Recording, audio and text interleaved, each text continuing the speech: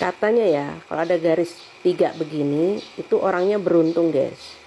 Tapi kalau salah satu di sini atau di sini nggak ada itu nggak seberuntung yang tiga garis ini. Coba punya kakak dilihat apakah garisnya tiga ataukah hanya dua ya? Mudah-mudahan sih tiga ya kak.